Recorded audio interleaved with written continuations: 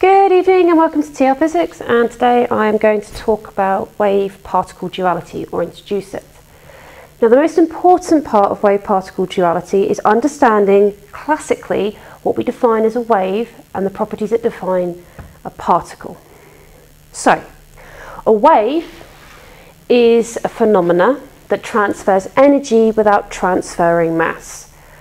So the whole idea of me speaking to you or speaking to the speaker right now is that I speak, the particles between me and the speaker or me and yourselves um, are there and after the wave is transferred the particles go back to their original position but energy has been transferred in the form of sound.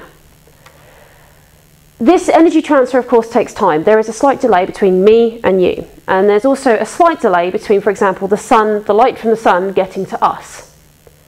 So transfer by energy transfer by wave does take time. Also, waves experience interference and diffraction. So waves, when they go through a gap, will spread out and they will interfere with each other constructively or destructively. Particles, on the other hand, transfer energy by transferring mass. I am going to transfer um, some kinetic energy or GPE into kinetic. The mass has moved. Okay, energy has been transferred from one form to another. This transfer is instantaneous. The transfer from kinetic to GPE instantaneously happens all the way down. However, particles do not interfere with each other, as with constructive and destructive interference, and they don't diffract.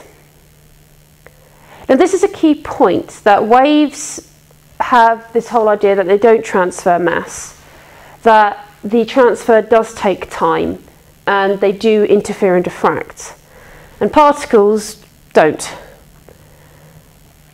This is where wave-particle duality comes in because these are very classical, traditional ways of physics and apply to most of the situations. But when we look at the quantum level, it slightly changes. In my next few videos, I will be talking about two very special cases where a wave acts like a particle and a particle acts like a wave.